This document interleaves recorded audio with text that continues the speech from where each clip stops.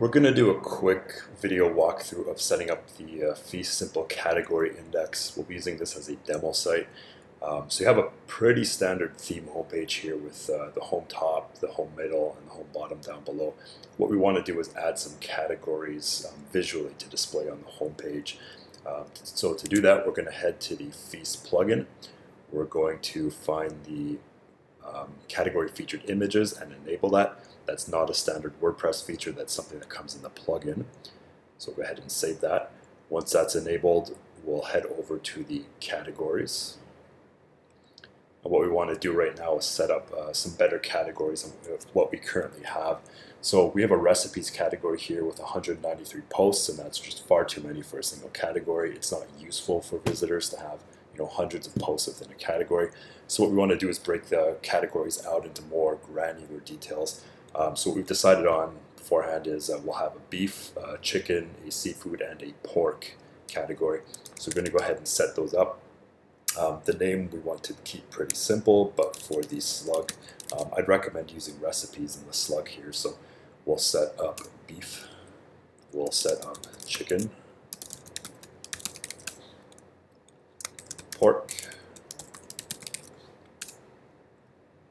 and uh, seafood recipes.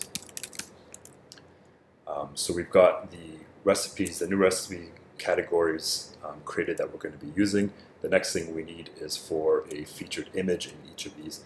I'm going to go ahead and open up the edit page for these in advance and head over to media, add new.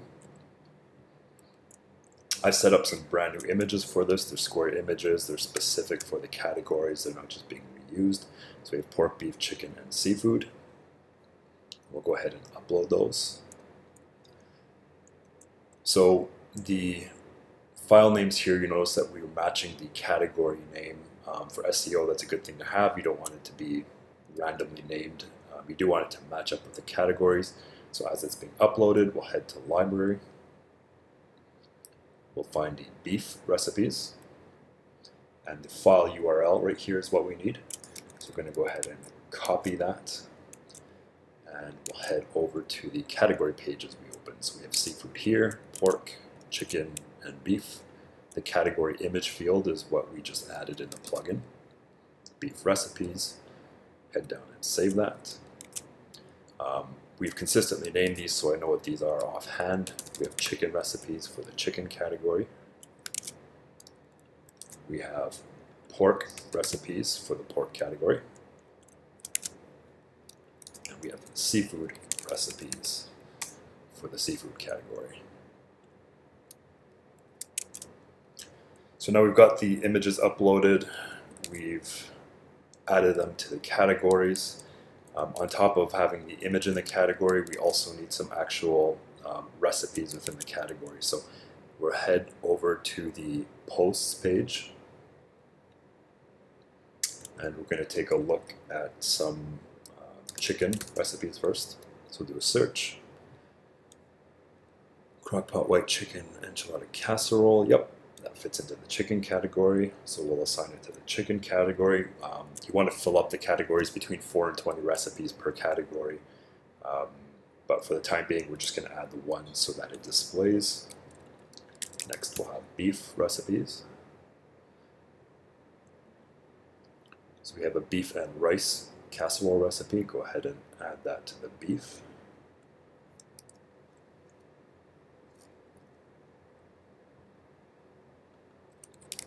Next up, we have seafood. So the shrimp boil recipe belongs in the seafood.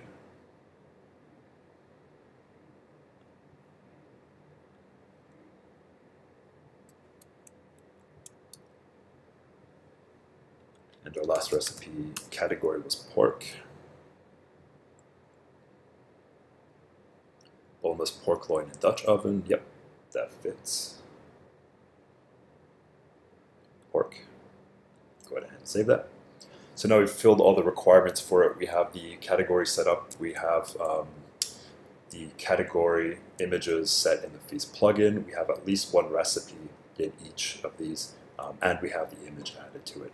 So at this point, we're going to um, go to the home middle widget area and add a custom HTML widget with the short code. So appearances widget. We have the homepage middle. We're going to drag a custom HTML into homepage middle.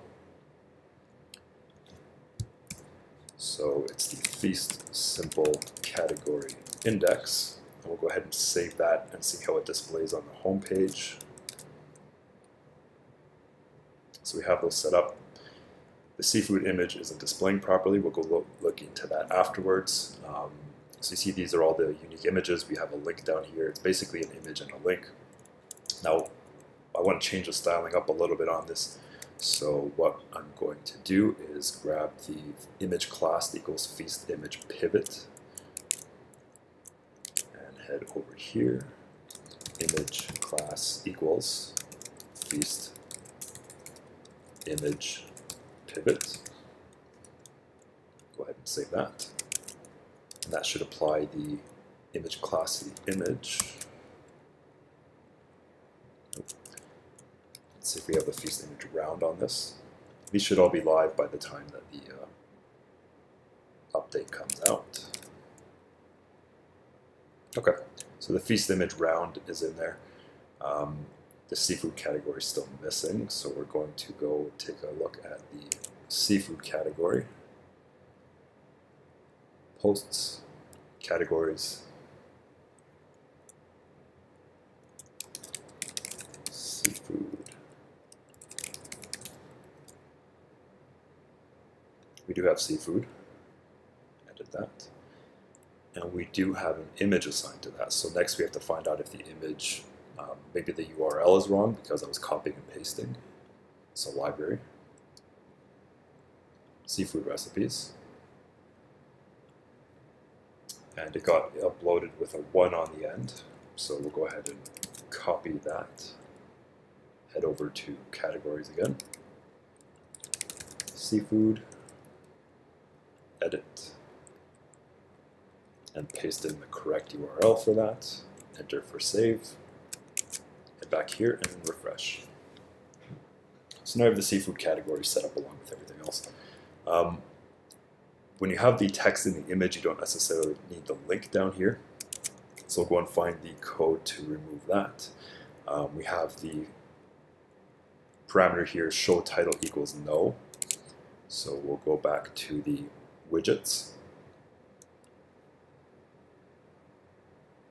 Homepage middle custom HTML, show title equals no. Save that. So there we go. We've set up um, some category images. We've got them linking out to the categories we created. Um, we removed the title on here. By default, those will display. And by default, it'll display the images that you upload. Um, we do recommend using round images. Um, over a thousand pixels would be good for future proofing, but in this case, I think they're about 700 pixels. Um, they're being scaled down and the thumbnails are being generated, so it's not an issue for page speed.